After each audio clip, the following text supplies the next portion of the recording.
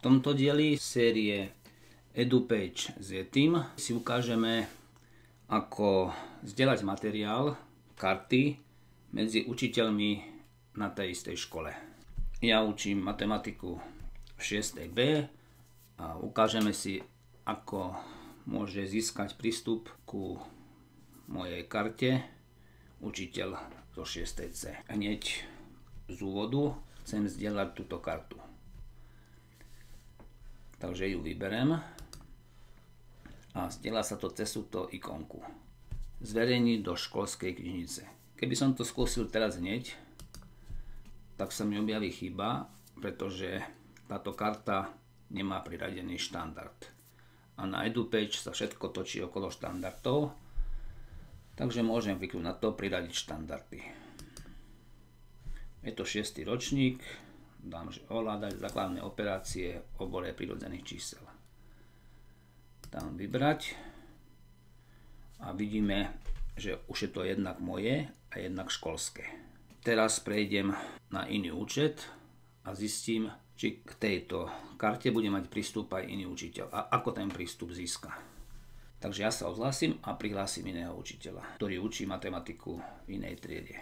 Som na tom inom účte, mám tu 6 C, dám si ju zobraziť a prejdem do tej témy opakovanie prirodzené čísla. Vidíme, že tu žiadna karta nie je.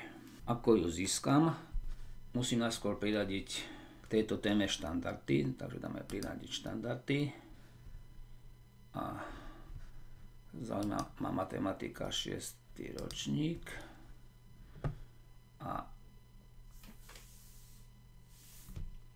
idem na tú druhú hodinu, vidíme, že tu si učiteľ pokusne priradil všetky témy, ale z 5. ročníka. Je to opakovanie, takže je to vyrodzené. A tu chcem mať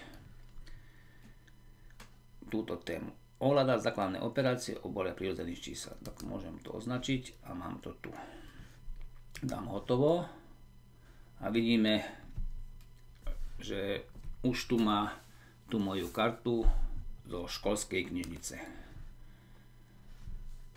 No a keby to chcel upraviť, tak to nemôže. Nemá tu tú ikonku s ceruskou. Použijeme danú kartu ako domácu úlohu. Domáca úloha zo 6. apríla 2020.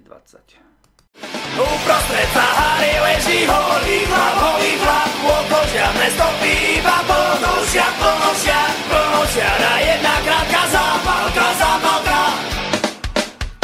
Logická hádanka takže si všimneme, že je to jednak ako obyčajná karta a jednak ako domáca úloha. No a teraz si predstavme, že by sa ten pôvodný autor rozhodol, že odstráni túto úlohu zo školskej knižnice. Takže opäť prejdeme na môj účet.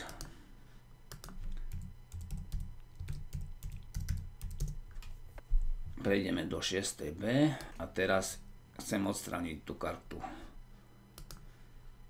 zo školského systému, zo školskej knižnice. Kliknem na túto ikonku. Áno. Vidíme, že je to už iba môj materiál.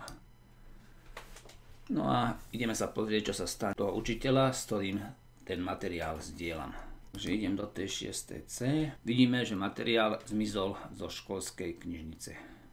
Nie je tu tá logická hádanka, ale keď si v mojej knižnici pozrieme domácu úlohu zo 6. apríla a prehráme si ju, tak tá karta tu zostala. Znamená to, že už nebudeme mať prístup k samotnej karte, ale ak sme tú kartu už použili, tak zostane funkčná. No a keby to dal teraz editovať, tak vidíme túto kartu.